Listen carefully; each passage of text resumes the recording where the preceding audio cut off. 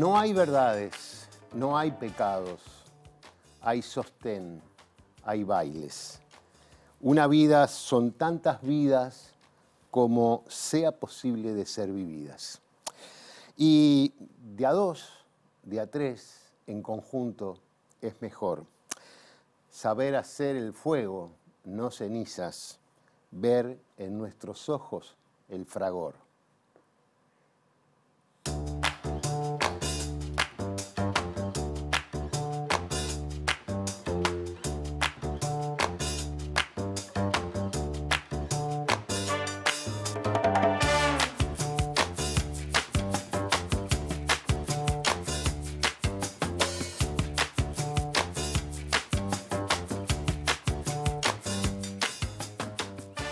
Buenas noches, bienvenidos a una nueva propuesta de Ideas Cruzadas. Hoy tenemos el gusto de tener la compañía de Ana Prada y de Pata Kramer. Eh, y bueno, con ella vamos a hablar de todo lo que, lo que hay, lo que sea, todo lo que sea. ¿Cómo andas, Ana? ¿Todo bien? Un gustazo estar acá en este programa, un honor para mí poder conversar contigo, que No, te y admiro y te respeto un montón y me encanta el programa. Y bueno, y ni que hablar con Pata, que nos conocemos bastante, así que bueno, vamos a ver, vamos a ver qué, qué surge. Y gracias, Pata, por venir. Por favor. Eh, son músicas. Bueno, Ana es música, integró el cuarteto vocal La Otra. Los discos solistas Soy, eh, Soy Sola, Soy Yo, Pecadora, Soy Otra y No. Ajá. Pata, eh, como cantautora, publicó el disco este, Intentos y Sostén, es productora y gestora cultural. Actualmente es directora de planificación estratégica de la Intendencia de Canelón. Pero además, lo más importante, tienen un hijo en conjunto. Así es. Somos madres, ambas. Eh, tenemos un hijo hermoso que ahora tiene cinco años y medio, que se llama Hugo. Y que, bueno, fue obviamente lo más importante que, que hemos hecho. Y habíamos hecho cosas importantes. Lo más importante, lejos que hemos hecho es este, eh, esto de, en mi caso, criar y maternar un hijo que este, lo tuvo, lo llevó pata en su, en su panza. Así que bueno, nada, feliz, felices con, con este maravilloso hijo que nos ha dado la vida. Este, eh, eh, hace un rato, mientras estábamos esperando para empezar, este, estábamos hablando de, bueno, de, cómo, de todos los avances, de, los cambios, de las cosas que se modifican. Y leía por allí que, que había sido un psicólogo o para tratar de entender el, el rol padre, madre, Bueno, en realidad a psicólogos, a psicólogas también Vamos he, ido, todos. he ido un montón. Muchas veces, no muy solamente agradecida con, con Claudia, mi última terapeuta, que me ayudó mu- muchísimo. Yo estudié psicología, me Es recibí, verdad. nunca ejercí. Y, y bueno, han sido, por supuesto, temas de tratar en estas instancias terapéuticas que son cosas que, que te movilizan un montón, porque en realidad este rol de otra mujer en un, habitando un espacio de maternar, eh, pero en un rol donde históricamente se ha reservado para los varones, digamos, Claro. que es como el- de paternar. Entonces empezamos a discutir así como tirar ideas, este, filosofía barata y zapato de goma, pero sí, sí creo que es necesario eh, generar términos o generar, nombrar este nuevo rol que existe ahora gracias a- que se avanzó un montón en la agenda de derechos, eh, que es este, el de estar siendo madre cuando existe también la madre, la madre que lo parió, digamos, la madre que lo llevó en su vientre, y ocupar un lugar siendo mujer como sería el de un padre. Entonces, jorobando con unos amigos, decíamos que yo debería ser la papá. Y a mí me, me interesa ese término, he sido, ha sido muy resistido, lo he hablado con, con amigas y amigos, este, y, y no, ter- no termina nadie de, de gustarle, porque dicen que sigue siendo patriarcal, porque sigue siendo un montón de cosas. Todo es verdad, no existe un nombre para este rol, pero a mí eso de la papá me resulta bastante interesante porque papá y mamá son funciones, son eh, Claro. roles. Eh, puede ser tu hijo biológico, puede ser tu hijo adoptivo, puede ser un abuelo que hace de papá, una abuela. Es papá porque es varón, pero en realidad si le cambias el, le pones la papá, el rol vendría a ser parecido. Igual son temas a pensar en conjunto, colectivamente, a, ver. eh, por supuesto, yo eh, me siento absolutamente madre de Hugo y, y así lo soy y él así lo, lo vive y lo siente. Y- pero bueno, en realidad con la- el avance en la, en la agenda de derechos también hay nuevos espacios y nuevos Claro. lugares que no, no, no son nombrados quizá en su justa dimensión. Son términos que habría que inventar. De todos modos, por ejemplo, para mí una de las cosas de las que estoy más orgullosa de, de nuestro hijo, a pesar de que es muy también juzgado por un montón de gente, es que no nos dice mamá, en el fondo, a ninguna de las dos. Su manera nombre. natural de, de llamarnos es Pata y Ana.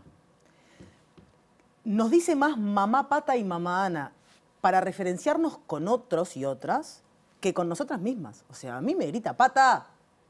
Y hay algo ahí muy bello, porque si bien es necesario generar términos para generar justamente como estructuras de qué puede ser una cosa u otra, también todas las etiquetas terminan siendo un, un cierre de un prejuicio. O sea, está bien, hay un rol materno y un rol paterno. ¿Qué nos significa cada uno de cada una de nosotras qué es un rol materno y qué es un rol paterno?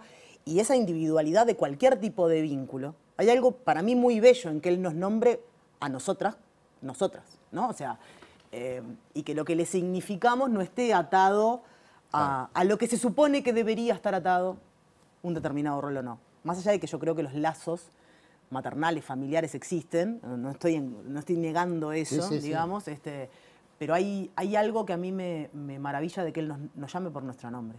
¿Y por qué dijiste que es criticado?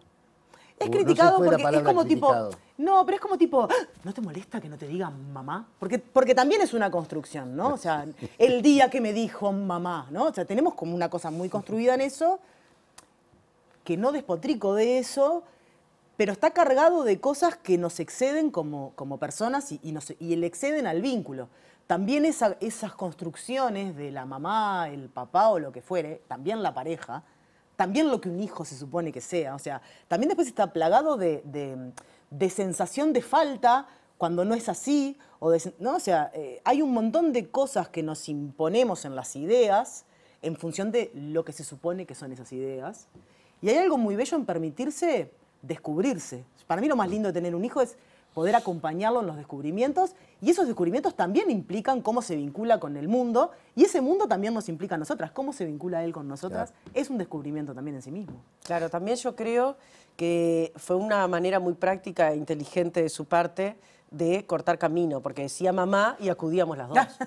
Entonces dijo, vamos, vamos a tratar de diferenciar acá, porque si no, Claro. yo quiero llamar a esta o a esta y vienen vienen las las dos. dos. Entonces, de alguna manera dijo, acá hay que identificar. Pero sí es verdad que frente a sus pares, sus compañeros y compañeras del jardín, eh, eh, vino, es mi mamá, mamá.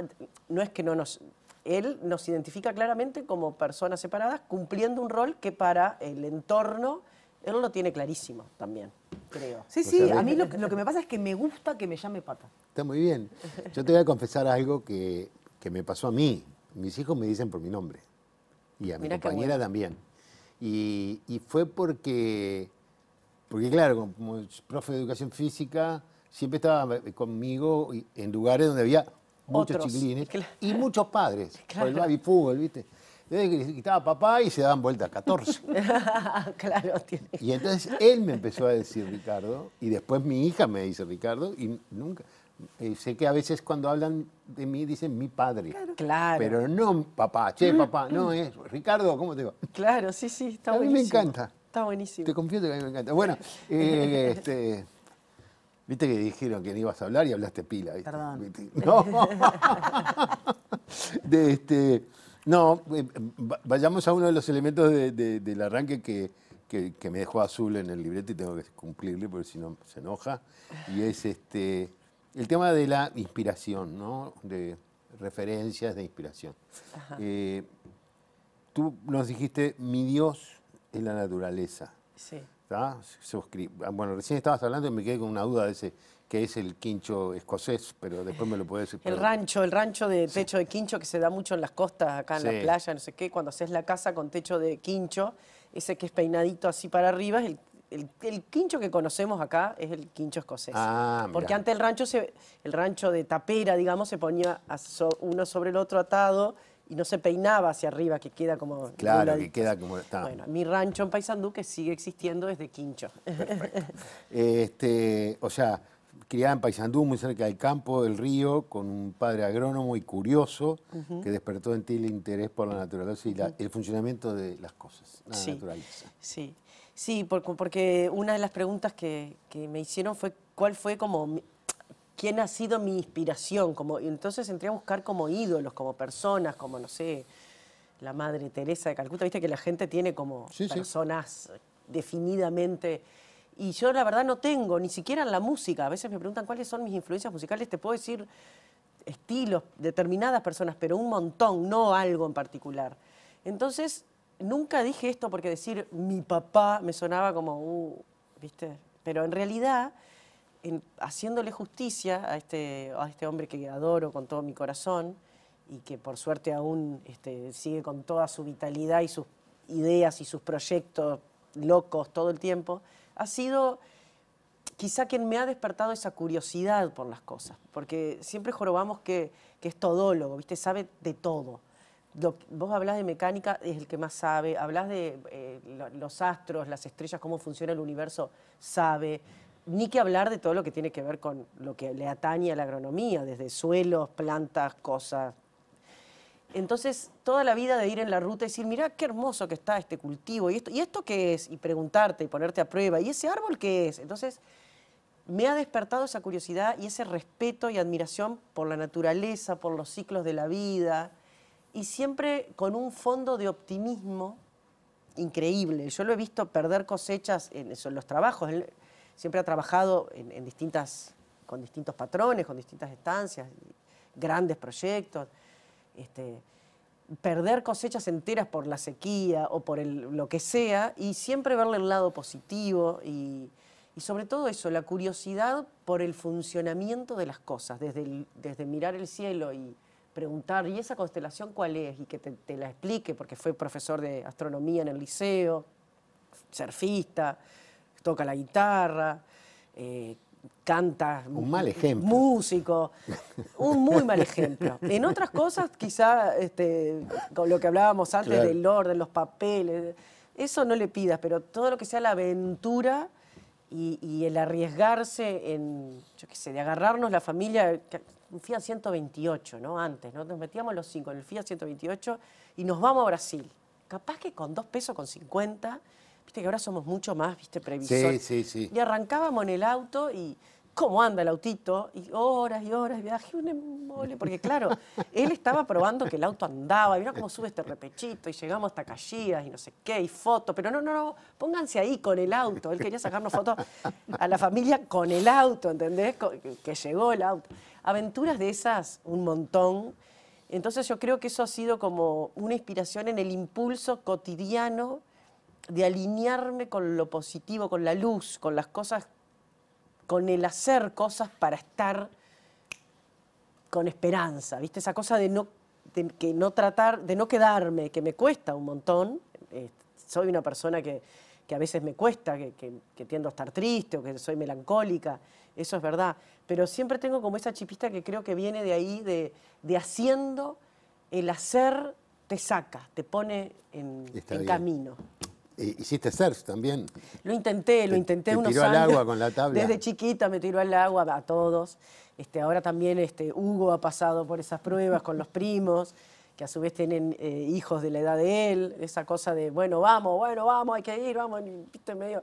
Igual ahora las nuevas generaciones somos un poquito más este, conscientes, menos kamikaze en ese sentido, porque el tío chiquito, para, para digamos, mis primos, que so- somos primos hermanos de, de los Drexler, que compartimos una casa en La Paloma, ahí eran las aventuras veraniegas, digamos, más surfistas, porque si no, siempre paisandú. Sí, claro. Pero igual en el río, barcos, regata, en el barco de un amigo, un barco que era un cajón con vela y se iba con mi madre cuando era joven, mi madre me contaba, vos no sabés, cualquier cosa me hizo hacer en ese barco que no tenía baño, no tenía nada. ¿Qué iba a tener si era el Anamar se llamaba? Era un cajón con vela y él corría regatas y, y llevaba un trombón o una melódica, una flauta para ir tocando. Siempre como esas cosas de, de esa alegría de, de- de- de- de disfrutar ¿no? La- de las Igual cosas de la vida. no, no, no, no lo vamos a hacer hoy, pero en otro programa vamos a discutir eso de, de este, de que hoy son más cuidadosos y, y yo eso yo no sé si es mejor. No, eh, somos mucho más aprensivos, por son ejemplo. mucho más apresivos, yo lo noto. Quizá tiene que ver porque hay más autos, hay más velocidad, hay otras cosas. No existía el cinturón de seguridad. Yo soy de los años 70, íbamos a la paloma sueltos, todo el- sueltas Sí, sí. las tres todo el camino.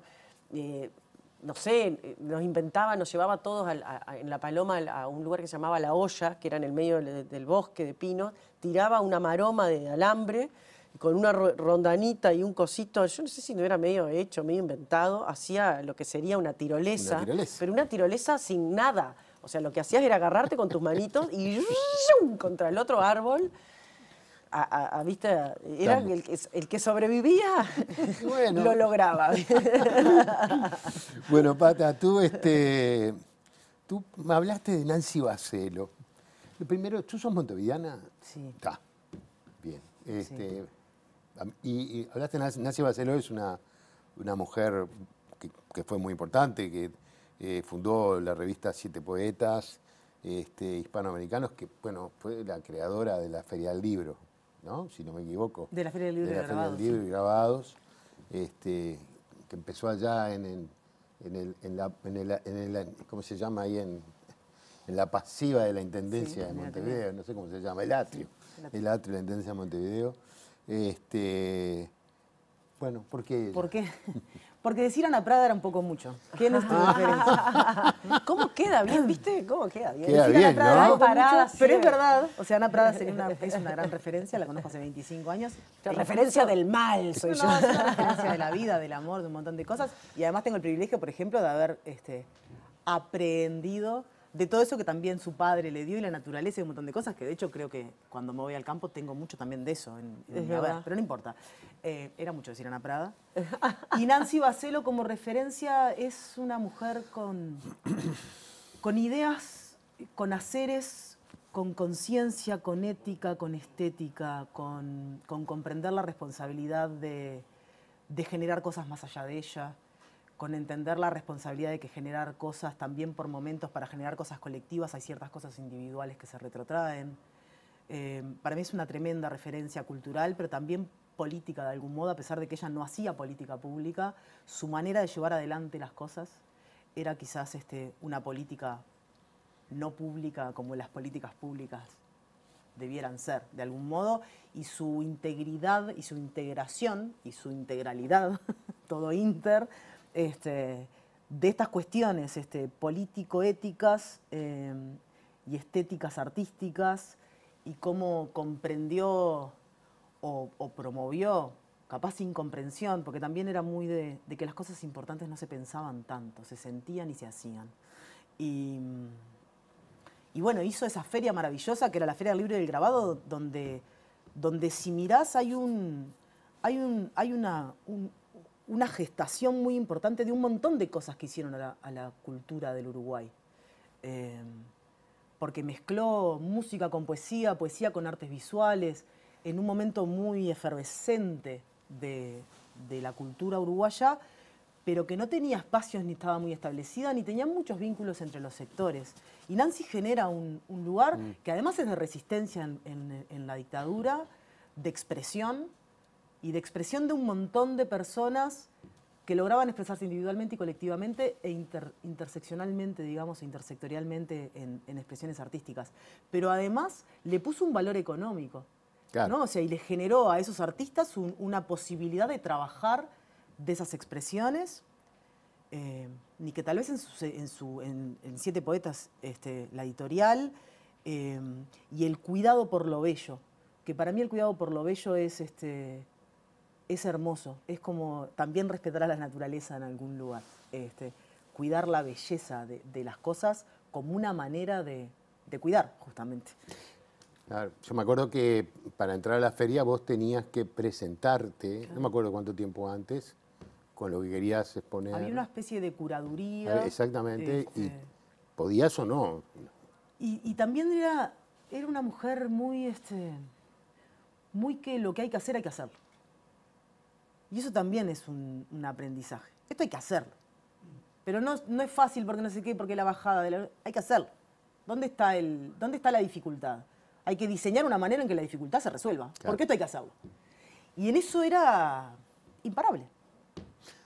Está muy bien. Viste que a mí me, a mí me choca mucho este, las, las personas que primero te dicen que no. Que no se puede. No se puede. Hay, un de- hay como, hay como un tipo de personalidad que después lo hacen y lo hacen mejor que nadie. Pero- Pero, pero- pero- conozco pero- varias personas que le decís, che, me- tengo que hacer esto. No, Ah, no, no, no. no No, no, de distintos tonos. Y después terminan accediendo y haciendo. Yo creo que, que son personas como muy responsables que saben que pueden hacerlo bien, pero que tienen una anticipación negativa de. Ay, de autoexigencia, ¿no? Puede ser, sí. Eh, Y después Bueno, tenés el, el negativo. el No, no, el también. no, pero, el, el- pero el después. este, pero- cortamambo, digamos. Pero eh, antes de escucharte dicen no. Eh, después. como Claro. Eh, me quedan dos cosas que, este, de, las que hablamos recién. Voy a tratar de acordarme de pedirlas en el segundo bloque para preguntárselas. Hacemos una pausa y ya seguimos.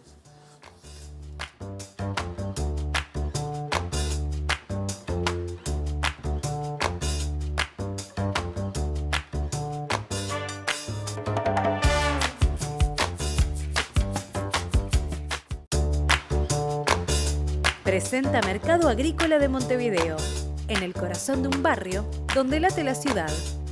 Mercado de Historias. Mercado de Historia.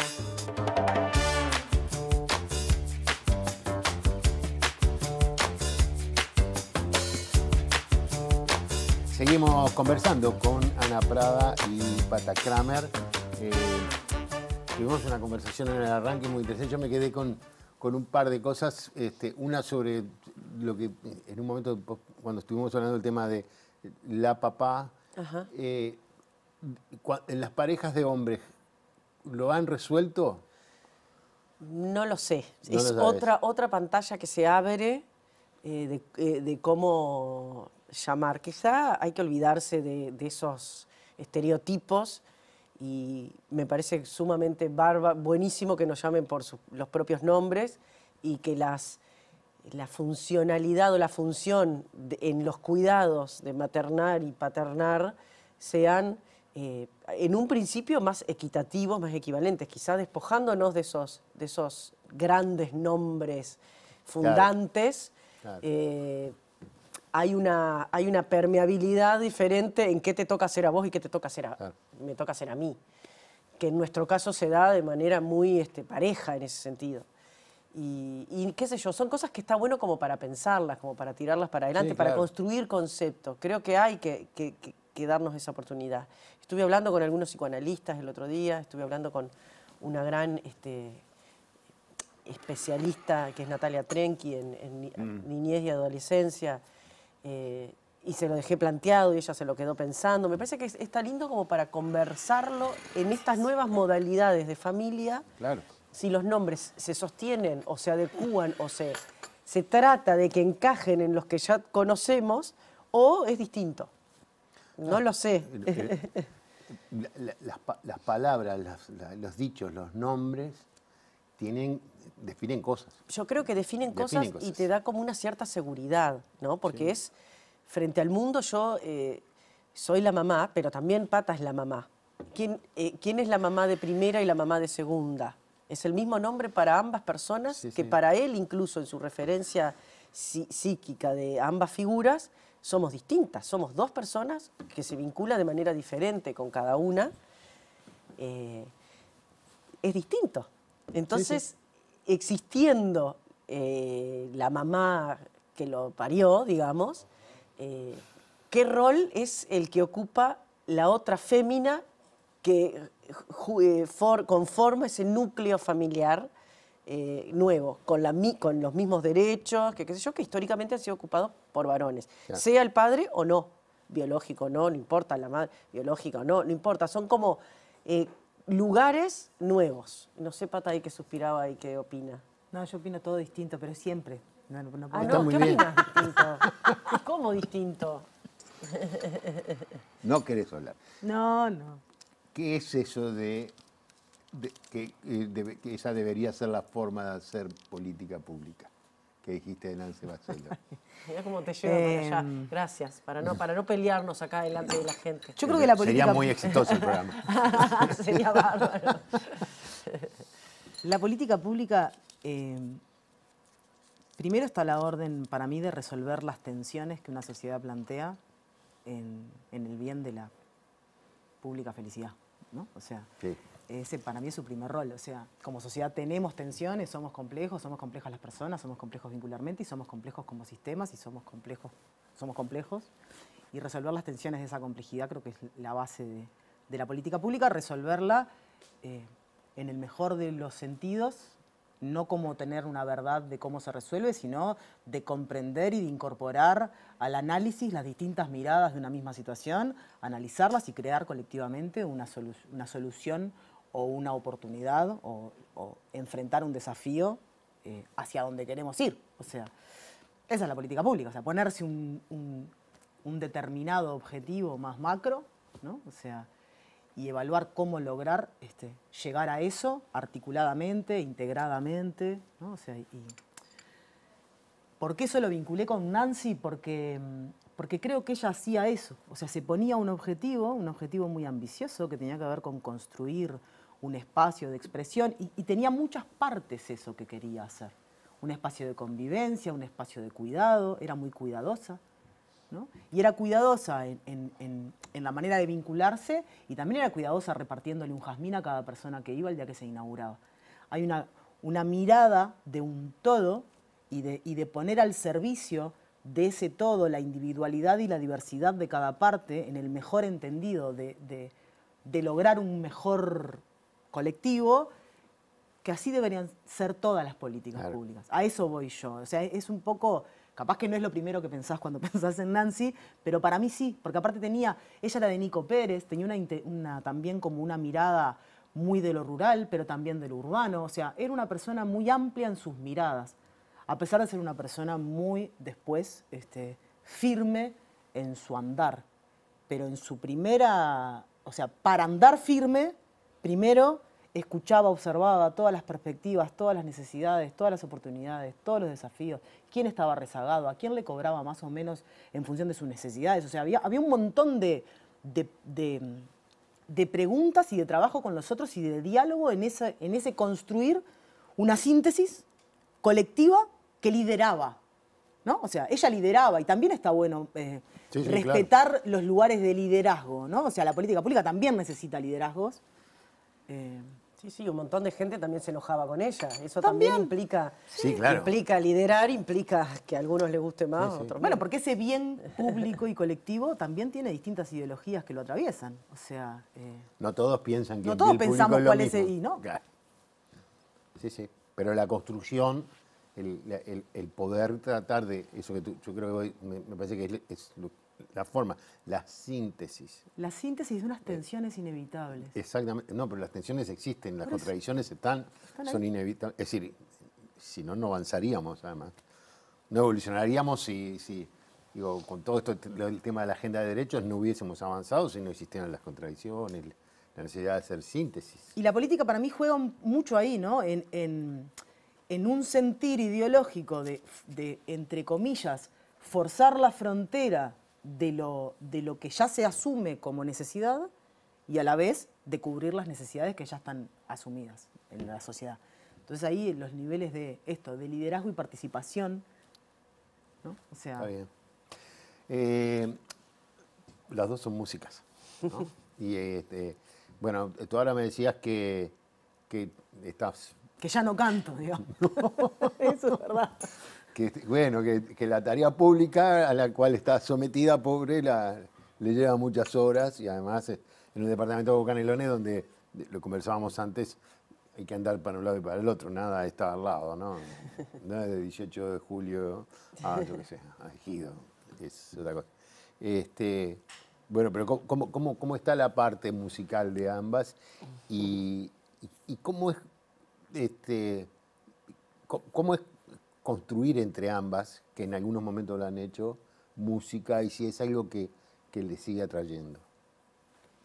que hable la música. Que abre- No, no, en realidad la música es No ella. más música, no, no, eso, No, eso no, se deja de ser nunca. no se deja de ser. Pata, eh, si bien no está cantando en los escenarios, vamos a inventar un formato que sea que cante en su casa o en algún lugar, porque eh, hay mucha gente que le reclama verla nuevamente arriba de los escenarios. Yo cada vez que puedo la subo. Eh, cuando presenté lo- el, el disco último que, que grabé y que grabamos, porque en realidad contiene varias canciones de Pata y muchas en coautoría, no para de, no para de componer. Eso es algo maravilloso. Produce muchísimo desde ahí. Yo creo que es una forma clarísima en ella de catalizar emociones a través de- de- de la- del canto y de, la, y, y bueno, y de la poesía, porque en realidad las canciones de Pata son realmente poemas. Y yo a veces lo que hago es le robo alguna, porque a mí me falta, me, cuesta, me, cuesta ponerme a componer, me da pereza, siempre encuentro algo más, otra cosa para hacer. Y, en esa, y en esa conjunción, en ese encuentro, nos ha ido siempre muy bien. Es más, durante 2016 me acuerdo que giramos juntas en un, en un dúo que se llamaba, le pusimos canciones yeguas, Ana Prada y, y Pata Kramer, Kramer versus Prada, se llamaba el dúo, se llamó, es un dúo que en cualquier momento renace, y le pusimos canciones yeguas porque nos íbamos de gira por, Argentina, metimos como 67 toques a lo largo de todo un año juntas con Ariel Polenta, un pianista de allá, y no teníamos foto para el afiche, y como vivíamos en la chacra, la única foto que nos salió más, que salimos más o menos linda las dos, porque también en eso, me gusta esta, no, pero vos ahí saliste linda y yo no, bueno, era un problema. Era una foto que sacamos con la cara de la yegua, de una de las yeguas que tenemos en el campo, blancas y una cara y una de cada lado, entonces le pusimos canciones yeguas. Entonces, a partir de ahí, empezamos a buscar canciones despechadas, ¿viste? Qué yegua la canción Pero que yo me te iba a decir, son provocadoras. Canciones despechadas, canciones de amor despechado, de pelea, de odio, de, de cosas así.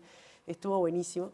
Y, y Pata es increíble porque desde muy jovencitas, cuando Pata tenía 18, 19 años, que nos conocemos, yo cantaba en el cuarteto La Otra, armamos este dúo, Kramer versus Prada, y cantamos durante muchos años en el café Arroba, lo nombro porque no existe más, un café chiquitito así, en la ciudad, en la peatonal ahí de la ciudad vieja, cuando surgieron todos Sí, esos sí, con la movida. todos los jueves vieja. cantábamos juntas, que consistía en cargar los equipos, armarlo, Marianita de Horta nos hacía son- sonidos, cobrar unos pesitos, desarmar, devolverlos a la sala, hacíamos todo. E irnos a comer una hamburguesa. E de irnos a comer una hamburguesa de carrito, que era nuestro festejamiento de la noche. Así estuvimos un montón de años, Qué guay. aprendimos un montón de cosas juntas, ahí de, de- de lo que era el boliche. Realmente de ese boliche nos dio boliche, nos dio cancha, como se dice en el fútbol. Y bueno, después ella siguió también su carrera solista, yo también, la vida nos llevó y nos puso, pero sí, es como que componer juntas es algo como muy natural, muy necesario. Es más trabajadora Pata que yo en ese sentido. Es como hace el trabajo duro, es más obsesiva. Entonces a mí me viene bárbaro porque yo soy lo más dispersa de- del mundo. Entonces de repente ella avanza, avanza y yo le tiro dos frasecitas y entonces también la canción es mía, ojo. Con esas cosas hemos jugado un montón y, y sí, la música, en mi caso me sigo dedicando de lleno a esto, a full. Presenté disco el año pasado, un disco nuevo que se llama No, que está nominado a los graffiti en tres categorías que no me acuerdo cuáles son. Creo que en ninguna de las tres tengo ningún tipo de oportunidad, pero igual eh, Pero bueno, me siento agradezco la agradecida mención, por haber claro. sido mencionada. Es un disco que lo grabé con Pedro Alemani, aquí en Ciudad de la Costa, que ha sido el productor artístico. Después me fui a Argentina, lo presenté allá en Niceto, un lugar re lindo, hice prensa. Bueno, viajo permanentemente, todo relacionado con la música. En el 2024 tengo una gira por Europa. Bueno, siempre vinculado a eso. Y, ta, y con ese tiempo raro que te da la música, que es o no estás nunca o estás todo el tiempo. Eh, me han preguntado, ¿pero estás viviendo en Argentina? No, vivo en Uruguay, viajo mucho porque Argentina siempre ha sido el Claro. lugar donde más me he movido. Y, y bueno, y, y con Pata que cada vez que podemos agarramos la guitarra o cada vez que me subo a un escenario, este, le hago así y Pata enseguida, por suerte, sube. Y, y me pasa eso de que estoy nerviosa, ponerle y se sube Pata y es como, ah, está, ya se me pasaron los nervios. De años, años de, de, de eso, de compartir esa, Claro. esa emoción ahí. Este, o sea, por ahora no, la música no la dejaste seguir. Es que no se puede ni dejar ni no dejar, o sea, este, a veces la necesitaría un poco más. Este, yo creo que catalizo y también exorcizo en esas, en esas este, escrituras. Son como mi, mi momento de más introspección. Eh, y en esto de compartirlo, en realidad yo solo lo he podido compartir con Ana, porque de verdad me parece un momento como súper íntimo y de introspección. Este, y no cualquiera, tengo ganas de que me vea tanto mi inconsciente y lo que estoy pensando Claro. adentro, eh, o no con cualquiera logro abrir este, las vergüenzas que a veces te da decir una estupidez y tirarlo. o- Y Ana es, este, Ana es dura, es dura, o sea, hace 25 años que la conozco y ha sido siempre dura conmigo. Pero dura es, eso, no, eso es horrible. eso es horrible. Este, esta palabra no la digas, ese modismo que estás teniendo para cantar. Pero eso me ha hecho siempre mejor. O sea, es, de- es una de las pocas personas de las cuales puedo escuchar una crítica. No, mentira. Eh, s- eh, critica muy bien porque, porque, porque conecta muy bien con lo que las canciones son, Claro. digamos. Y para mí, Ana, en ese sentido, ya que vos hablaste tanto de mí, hablar de vos yo. eh, tiene algo eh, que, no, que no tiene que ver con la creación o con, eh, ni con cómo canta. O sea, que para mí las canciones de Ana son muy lindas y además canta muy bien. y pero tiene esa otra cosa, que lo decía Camarón, eh, la cuestión de comunicar o no comunicar. Y Ana arriba del escenario es este, mm, arriba y abajo, digamos. Tiene eso, que no sé cómo se llama. que El ángel. O no comunica. este, y los tiene todos. No decían antes, Este, sí, es que está angelada, digamos. Tiene ese, no sé, no es carisma, no es talento, es, es algo que, que, que está, que conmueve, que convoca, que y es maravilloso. Entonces, en realidad, hace 25 años, cuando empezamos a cantar juntas, de alguna manera yo eh, entré como en la A, ¿viste? O sea, salí a jugar en primera. y y me, me enseñó mucho. O sea, no es, mentira que yo podría haber puesto de referencia a Ana. este, y entre otras cosas me enseñó mucho con la música y sobre todo me enseñó que lo que yo hacía podía... eh, porque yo antes era, o sea, si bien compongo desde muy chica, eh, era muy, muy resguardada también y resguardaba mucho esas cosas, como que eran para mí. No, no. Y Ana es, además de todo, de verdad es muy generosa en ese sentido. Eh, yo creo que tiene más, este, más canciones con otros en discos de otros porque a todo dice que sí. este. Es verdad. Tiene una larga ¿sabes la lista cantidad de colaboraciones que de tengo? colaboraciones Ya en ni ese sé. sentido. este, y, y es muy generosa y es muy humilde, o sea, pudiendo cantar con un montón de gente como, entre comillas, desde un punto de vista jerárquico, este, muy importantes, nunca deja de cantar con los que se supone que no son tan... O sea, eh, para mí es tremenda referencia en la música, Ana, de- desde distintos puntos de vista. Ay, me voy también re a agrandada de cantar acá. otro tipo de cosas, Me ¿no? voy O sea, me voy un rol de feliz. una mujer distinta Está muy bien. arriba del escenario. Sabés que este, va- tenemos que ir a hacer una Gracias, pausa, Kramer. pero este, hay- hay- a- se me ocurrió una idea para un escritor. Te- hay que hacer, hay que escribir las historias, los primeros pasos. Sí. Es la historia de, de los boliches cuando iban a- ahí a, a Roba a cantar, que vas con, lo- con- con los equipos y salís, y es todo dificultad, ¿no? Y que el placer es después salir de ahí y comerte una hamburguesa. Siendo amigas. Con Pata fuimos mucho más tiempo amigas que lo que fuimos pareja, en realidad. Bueno, a esta altura ya A se- esta se altura ya a está igual. Pero siendo Bueno, viste que amigas, pasan los años. amigas, lo que más nos gustaba era ese momento posterior al, al show que quedás, por más que sea un bolichito chico y todo, cada show es un show. Eh, cada show te sí, moviliza sí, la sí. adrenalina. No importa el tamaño del escenario, es más de lo mismo. Puede ser un estadio gigante o un bolichito chiquito. La emoción y la adrenalina. Y, ¡Wow, qué bueno que estuvo! Y esto, ah, ah". Ese comentar la jugada de, de después Sí, sí. era el momento más placentero de filosofar, porque después ya se nos iba a la cabeza, viste que no, se no- nos gusta filosofar. Se nos iba a la cabeza para millones de lados comiendo esa hamburguesa de carrito que ya sabíamos cuáles estaban 24 horas, con una bebida, cola, que no sé si existe ahora. Este, de lo más rico. ¿Y, comple- y con, con- con- qué la querés? Y hoy nos merecemos completa, completa. Ya nos, ya nos gastábamos la mitad del sueldo de lo que habíamos ganado esa noche, porque no, no ganábamos mucho. Por eso son historias preciosas, esas, son historias preciosas. Hacemos una pausa y ya seguimos conversando aquí en Ideas Cruzadas.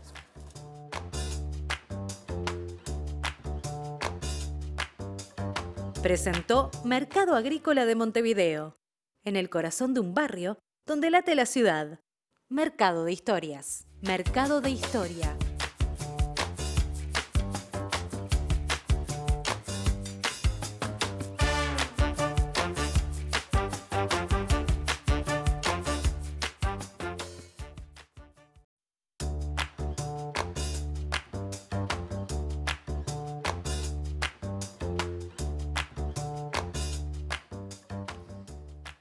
Seguimos conversando con Ana Prada y, Prata- y Pata Kramer. Eh, yo te- siempre lo digo, que ya, ya parezco que es redundante, ¿no? Pero bueno, que, que- que- que no se animan a hacer. Tenemos que grabar lo que pasa en el, en el corte. Las cosas que se dicen. No, porque estábamos hablando pero justo de eso, de, de- de los primeros momentos. Pero yo no, no quiero de- dejar de, plantear el tema porque eh, este, ustedes son eh, personas que están, son muy políticas. ¿Está bien? Este, y, y- y bueno, de hecho vos tenés una, una función pública política, este, han hecho campaña, eh, su, su imagen ha, ha participado de campañas políticas. Y, este, y bueno, ta, ¿cómo, cómo, cómo lo, cómo lo siguen llevando eh, eh, esa cosa de, bueno, ta, de, de tener una, una idea? Hay alguien que lo, sigue- lo ve y dice, ah, mira, estos son tal cosa. ¿Quién habla? Y yo qué sé, eh, podemos hablar las dos. O sea, eh, yo, yo puedo hablar un poco de las. Porque hay como dos, dos partes en eso, ¿no? O sea, una es la política más este, militante, la expresión, y en ese sentido, desde lo musical, la responsabilidad que a veces sentís de que vos tenés un micrófono, digamos. Este, y si bien nadie te eligió y te votó para que uses ese micrófono en nombre de otros y de otras, hay una como una responsabilidad de, Claro. de una opinión o de un algo eh, que por momentos simplemente es que te conmueva, ¿no? O sea, tenés un- como una oportunidad, una herramienta desde la música de expresar una cosa que te conmueve o que te preocupa o que... eh, y, y es como ponerla al servicio de algo, ¿no? O sea, yo qué sé, cuando, cuando en su momento no salió la papeleta rosada, yo no hice una canción, pero hicimos una versión de Redoblar. ¿Qué era lo que teníamos? Nada, una herramienta de expresar un dolor en ese momento que tal, después en realidad vos te sentís o no te sentís identificado con eso que alguien expresó, pero de algún modo lo pones ahí, digamos, y esa expresión tuya puede ser una, un poco como una manera de conmoverse o, o- o algo así. Sí, de llevar un mensaje. No en vano cuando las dictaduras o todo eso, lo primero que, que se cercena, que se censura y que se exilia, entre otro montón de gente, por supuesto, los artistas, los músicos. claro. Los músicos, la música como esa herramienta tan poderosa de, llevar un mensaje, de, llevar, de, cuestionar, de poner sobre en algo que te entra así, ay, qué linda canción lo que estamos cantando, y estamos cantando, cuestionando al patrón, cuestionando a la, a la explotación del hombre por el hombre, a la injusticia social, cuestionando un montón de cosas. Eh, eso cuando vos pones tu arte y tu música al servicio de algo que te trasciende, que va más allá de, de bueno, de no solo, yo hago, nosotras hacemos un montón de canciones de amor, en las cuales muchas veces esas canciones de amor, pues sobre todo en mi caso desde el disco Soy Pecadora, también sin querer queriendo, porque de verdad que no fue buscado, se puso al servicio de otras causas que tienen que ver con la diversidad, con las luchas de género, con los feminismos, etcétera, etcétera. Entonces, eh, de alguna manera después hay que hacerse cargo de eso. Y ni que hablar también con, con- con de qué lado estás políticamente. Obviamente que ser políticamente correcta y no jugártela por nada, y capaz que te facilita las puertas para tocar en algunos lugares que no te llaman este, por ser de tal o cual, este, digamos, partido o de tendencia política. Pero yo me he criado, y creo que vos también, Pata, en una casa donde la música ha sido eso. Mi padre, cantor, con sus amigos, cantaban todas aquellas canciones. Yo nací en el 71, me crié, toda mi infancia fue en total dictadura, con mis abuelos exiliados, con tíos exiliados. Y para mí la música tiene mucho de, de ese decir, de, de esa unión de papá con sus amigos cantando canciones y lloraban, ¿no? Cantaban, por ejemplo, este, Ay Paisito, mi corazón está llorando, de los olimareños, canciones de Citarrosa, canciones de, de, bueno, de Atahualpa, canciones de todo el folclore latinoamericano que estaban prohibidas, que no podíamos tener los discos, pero que sí sonaban cantadas de verdad en vivo en casa. Entonces siempre la música estuvo ligada a, la- alegría y también a las tristezas y a las luchas. Y, el arte en sí yo creo que tiene, tie- para mí es fundamental que tenga un compromiso, aunque no sea, si querés, no, me pongo, no me expongo tan directamente en esta idea política, pero sí por lo menos en algo transgresor, en algo que vaya más allá, que tenga algo de vanguardia, que te genere un movimiento, porque ¿cuál es la función sino del arte Claro. en general? Eh, si no es mover eh, el status quo, incomodar, eh, buscarle una vuelta a la realidad, ¿no? Y, y el hecho de tener la, la suerte de poder hacer canciones y cantarlas es tener una responsabilidad. Yo lo he visto mucho con Teresa Parodi, por ejemplo, que hemos grabado, hemos compuesto y grabado un, un disco juntas en Argentina. Su compromiso hasta el día de hoy, que le ha costado un montón, un montón de odios, un montón de repudio y un montón de, de- de- de- aplausos Sí, también. sí, claro. Y, y nada, eso. me y ella me habla de Violeta, de Violeta Parra, y me habla también de Mercedes Sosa, que a pesar de ser populares, sobre todo Mercedes, y masiva como era Mercedes, ella nunca negó su filiación política. Entonces yo creo que, que bueno, que si haces las cosas bien y con respeto, nadie te puede juzgar por cómo pensás. Estamos en democracia y se trata de eso, de ser diferentes, de pensar distinto, de, De construir. de construir desde ahí. Sí, hay algo muy poderoso en, en eso. Por algo se censuraba tanto, digamos. Hay Claro. algo muy poderoso y hay algo creativo que te permite decir cosas aunque no sean las que digas, como canciones para dormir la siesta, por ejemplo. Ah, Claro. claro, tipo, eh, es, Anécdotas. como, es como esa, esa posibilidad de...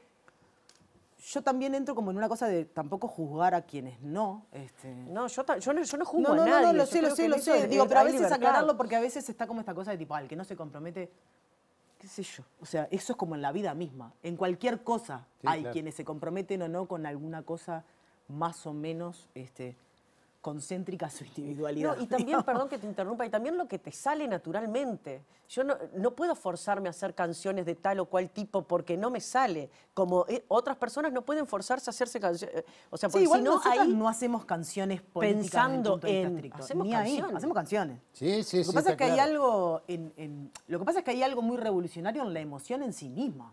O sea, eh, ya es revolucionario en sí, emocionarse y, y en la emoción emocionar ya es revolucionario en Ya- sí. ya sirve. Eh, y en realidad nosotras, aunque no hiciéramos canciones, o sea, estamos comprometidas con otras cosas. Yo de hecho por momentos extraño y por momentos me parece que, que había una parte de mí este, que podía eh, políticamente, o sea, a veces me, me dificulta este, no poder construir desde ahí. Había una cosa linda para mí en construir políticamente desde eh, esa parte más, o sea... el eh, canto. desde el canto, sí, sí, sí, sí, desde el canto, desde, desde la expresión. Que ahora éticamente siento que no puedo, este, porque cumplo un rol político. Claro. O sea que de, en- de alguna manera hoy el cumplir un rol político te- Me limita, por decirlo de una manera, ciertas otro rol político que a mí también me gusta mucho, que es el del el arte, digamos. Ah, este, eh, eh, creo que eso que, que planteaban, yo creo que tiene, que pasa en casi todos los órdenes de la expresión, ¿no? Digo, de, de- de la música, de, de- la escritura, o sea, es muy difícil y, digo, vos lees, vos en- encontrás en prácticamente todo lo que vos es- este, consumís, siempre hay algo que, que es que es como decimos que, que rompe, que provoca, que, que, que- digo, Pero es que cualquier cosa que provoque el pensamiento o la emoción es transformadora. Claro. Y toda transformación eh, en sí misma está, ¿no? O sea, y ahí yo creo que es esta cosa como de la responsabilidad. A uno o a un millón, eh, si eso emociona o te hace pensar, está generando una transformación. Una transformación tuya y una transformación con el otro de algo. Y ahí para mí hay una, ahí es donde para mí está la responsabilidad política mayor. Aunque no te comprometas políticamente o partidariamente con nada de lo, de lo que político es todo. Entonces, este, cualquier transformación Claro. eh, es una decisión política, digamos. ¿A qué, ¿En qué pones al servicio tu potencial transformación? ¿No? O sea, porque es potencial, pero es una potencial transformación tuya y de los demás. Entonces, ¿cuál es tu compromiso y tu responsabilidad con esa potencial transformación? No importa en qué magnitud, es una decisión política. Eh, eh, hace, hace un tiempo se, se había- se dio un debate, sobre todo al, al principio de- de- de- del, gobierno actual, sobre el tema de la sensibilidad, ¿no? Y este, había como una cosa de si eh, los sectores que no eran de izquierda habían logrado arrebatarle la sensibilidad a la izquierda. Este, y, y ahí se dio todo un debate que me parece que es muy interesante porque yo tengo la sensación que las- esa, esa sensibilidad, ese sentimiento, este, más allá del partido al que perteneces, es como una cosa progresista, ¿no? que es muy difícil que no sea. a mí me pasó, encontré ayer el- el- la película de Darín, El elefante blanco. No sé si la vi, ¿no? No, no, no, no, no, la película en sí, pero cuando muestra la, la la Villa Miseria, Villa Luro, termina la película, yo terminé la película con un dolor. Digo, oh, no puede ser que vamos en un mundo donde la gente viva así, ¿no? Entonces, es- es- esa sensibilidad, yo creo que el artista es el tipo que la expresa mejor en la música, en la pintura, en una foto, en una escritura, en, un- en- en- en un- en una novela. ¿no? Una novela de, de un policía de, de Camilleri que, que escribe una novela y, y tiene que ir a buscar a los, a los africanos que están cruzando el Mediterráneo. Y no te dice nada, pero te dice todo. Porque no es que empieza a decir, no, la política del gobierno italiano o de la... No, Claro, la historia, las te vidas. cuenta la historia. Y Sí, eso sí, sí. es a veces... Simplemente con narrar eh, hechos, y eso lo veo mucho en la música de Teresa, que te, que te narra una vida de una persona y un hecho. Si tenés la sensibilidad necesaria, no podés no conmoverte, Claro. no podés no enojarte con la injusticia, no podés no ponerte triste porque en el mundo sucedan esas cosas, aunque a vos, justo a vos te tocó estar en un lugar privilegiado y tener todo, Claro. y tener confort, y dormir calentita y comer todos los días.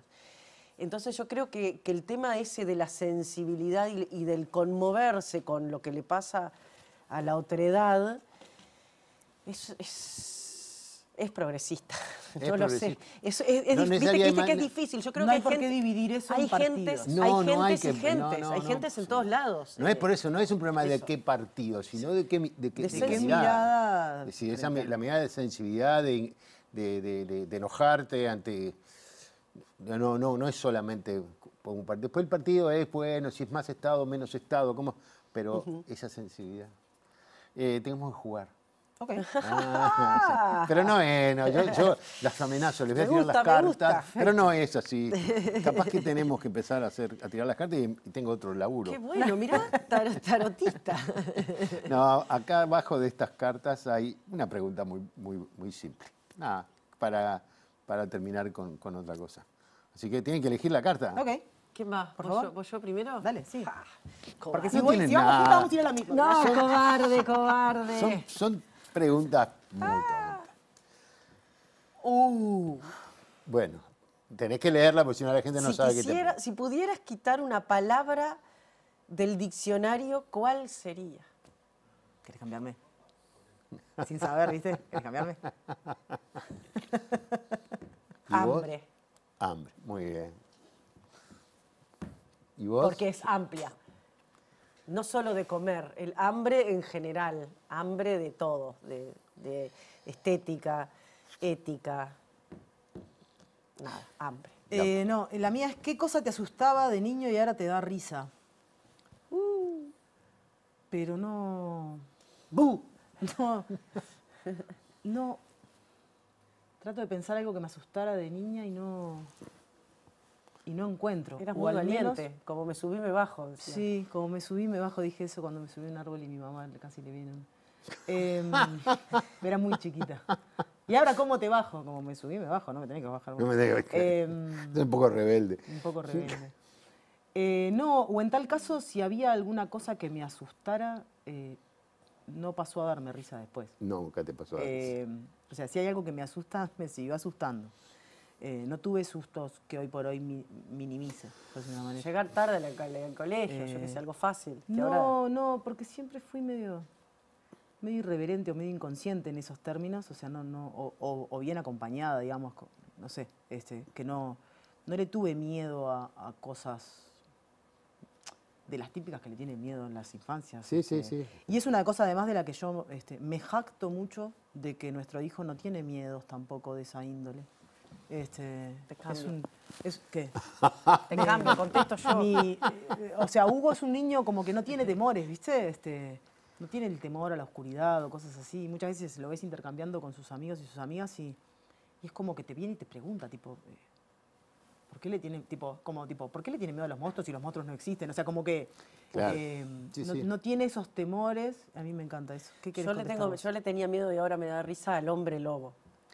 Al hombre lobo. Al hombre Pero lobo. te Igual hay decían cosas a algo. las que le sigue teniendo miedo. Al hombre lobo. No, no, no Si la empieces. tirás de no noche, empieces, eh, no empieces, tipo- no empieces. Vuelve el hombre no empieces lobo que en su- lloro, no empieces. le prendés una luna. Nosotros vivíamos acá en la cocina, Ah, la puerta de la cocina nuestra de Paysandú, un rancho nuestro esquina, y acá el de mis abuelos, el tata y la mamá. Y entre la puerta de la cocina nuestra y la de ellos había, yo qué sé, 15 baldosones. La velocidad que yo cruzaba de nochecita. No se me veía el pelo, por miedo al hombre lobo. Y ahora me da risa. ¿no? Que, que después lo analicé igual. Que mis queridas y amadas terapeutas que me han acompañado a lo largo de la vida, gracias. Muchas gracias. ¿Y vos qué palabra quitarías del diccionario? ¿Verdad, capaz? Verdad, ¿eh? Ah, esa ¿La me gusta. quitarías? Sí. Como una sola verdad, sí. Ah. Quitaría como esas cosas como Absolutas. absolutas. Las cosas absolutas. Las cosas absolutas. La verdad como algo absoluto. Sí. Si no pluralizamos todo, empieza Pero además porque la verdad como algo absoluto es, el- es la herramienta del sometimiento. Exacto. Pues yo tengo la verdad y chao, por lo tanto yo decido. Sí. Pondría verdades siempre, como definición. verdades. Como definición, miradas, verdades, pero verdad la sacaría. Sí, está bien. Ya lo decís en el tema. No hay verdades. hay verdades. En el tema que grabé con Natalia Oreiro, que es de ella. O no arranca son de tener diciendo eso. Bueno, una lástima que no trajeron una guitarra para cantar, pero bueno, está, ya, en otra oportunidad. Sabido. ¿Eh? Cerramos a capela. Eh, cerremos Por a ejemplo, capela.